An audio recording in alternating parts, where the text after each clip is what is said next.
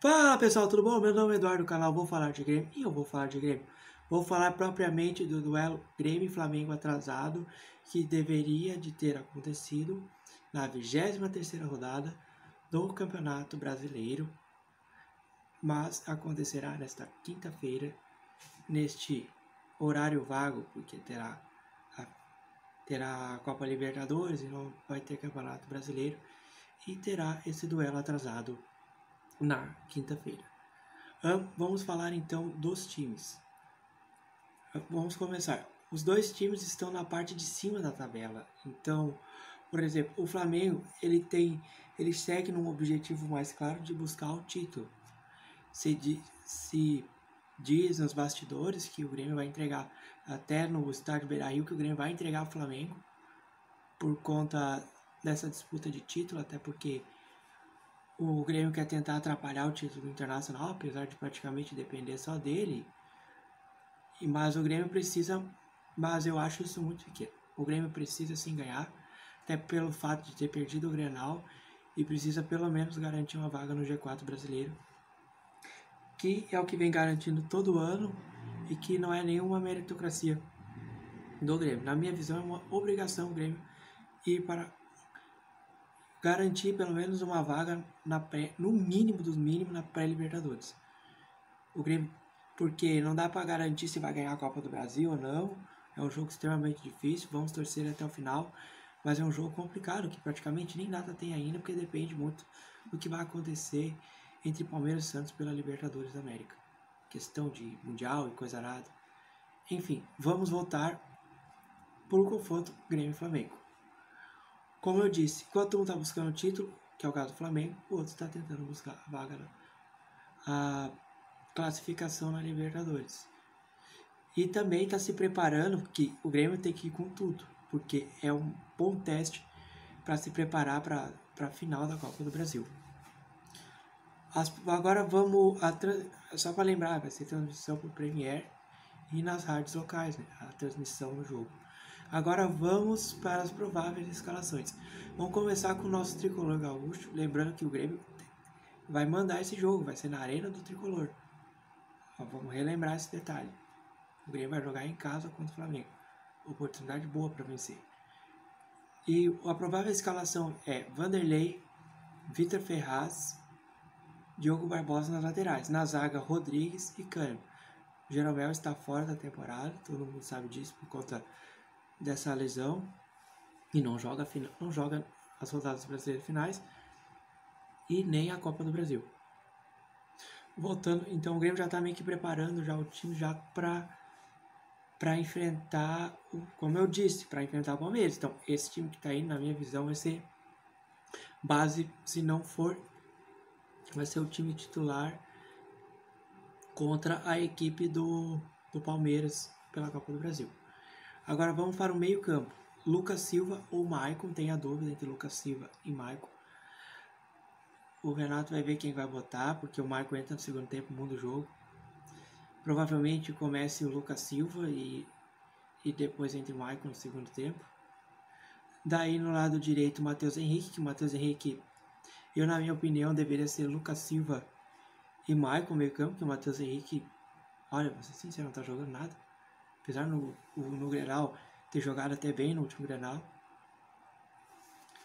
Aí tem o Alisson na direita, tem centralizado o Jean-Pierre. Detalhe, Jean-Pierre não vem atuando bem. Eu não, eu não daria com o Jean-Pierre, eu já eu deixaria ele no banco, até por conta das últimas atuações.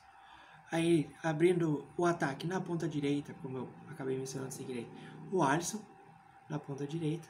Na esquerda, em negociação com o Porto, vai, vai pro jogo. O PP, vamos aproveitar e ver bastante o PP, que o PP está praticamente vendido. Então, falta só detalhes para finalizar a negociação com o Porto. Então vamos aproveitar e ver o PP. Tomara que o PP jogue bola, que está devendo muito. E na frente o nosso centroavante, que eu espero que seja bem servido, que é o Diego Souza. Agora vamos para, depois de falar da equipe do treinador Renato Gaúcho. Vamos para a equipe do Rogério Senna, a equipe do Flamengo, que vem buscando uma vitória, procurando, como eu disse, visando muito o título do Campeonato Brasileiro. O Rogério Senna está concentrado também, está nessa função de que se vai ficar ou não no clube. Eles falam que ele está fechado lá dentro, mas eu não acredito que o Rogério Senna, caso não consiga o título, não acredito que vai ficar na equipe rubro-negra. Que eu acho um bom treinador, Rogério Senna. Agora, sem mais delongas, vamos para a equipe que Rogério Senna irá colocar contra o Grêmio.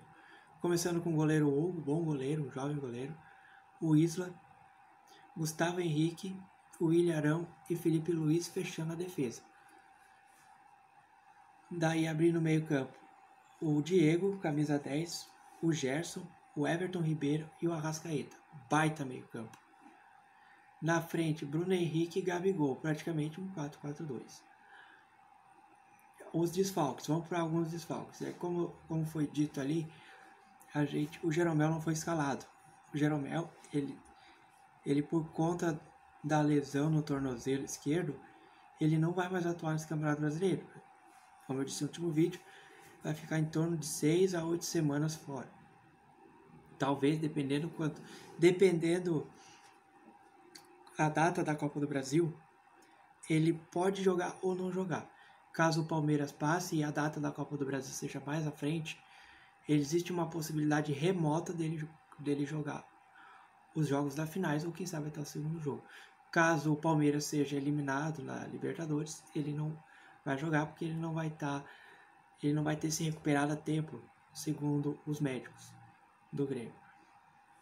No Flamengo, os desfalques são Rodrigo Caio, e o Diego Alves também lesionados.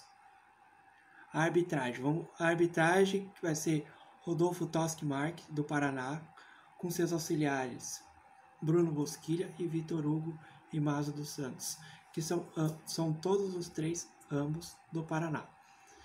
O VAR é o Adriano Milkivix, é um meio complicado aqui, eu tava vendo aqui, Milkivix, ah, meio embaçado esses nomes aí. Todos eles do Paraná, ou seja, a arbitragem completamente do Paraná. Esperamos que seja um bom jogo. Eu espero que o Grêmio saia com a vitória por jogar em casa. Que o Grêmio consiga se organizar melhor, que faça um bom primeiro tempo e não caia no segundo tempo, como fez no Grenal. O Grêmio decaiu muito. O Grêmio até deu uma, o Grêmio foi ao contrário. O Grêmio, o Grenal, o primeiro tempo foi horrível. O segundo tempo deu uma melhorada e depois acabou acabou recuando, muito também por questão do, da pressão do Abel, do, do fato dele colocar bastante jogadores à frente. E esperamos que não aconteça os mesmos erros contra o Internacional que aconteceu contra o Internacional, que não aconteça contra a equipe do Flamengo. O Grêmio está jogando, o Grêmio, para quem acha que o Grêmio tem nada para disputar no Brasileiro, pessoal, é muito importante ter a vaga na Libertadores porque o time que não vai para a Libertadores da América perde muito dinheiro e, e numa época de pandemia, apesar da venda do PP, caso concretizando, não é bom ficar desperdiçando muito pontos dessa altura do Campeonato Brasileiro, porque ficar numa posição boa na tabela ajuda bastante. Mas vamos ver no que, que vai dar. Eu aposto que o Grêmio vai vencer o Flamengo, vai ser um jogo muito difícil. Mas vamos, mas são duas equipes da mesma grandeza. É um clássico do futebol brasileiro. Eu particularmente, eu sempre gostei de ver Flamengo, Flamengo e Grêmio. Acho, eu como um cara que gosta de futebol, acho, acho que é um dos melhores confrontos do Brasil, assim, interestaduais, um dos melhores clássicos interestaduais do Brasil. Então, vale a pena ver esse jogão. Espero que, como eu disse, com a vitória nossa tricolor.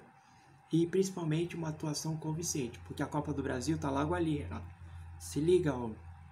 Tá bom, pessoal? Se gostou, deixa seu like e se inscreva no canal. Se não, vai ter filho colorado. Tchau.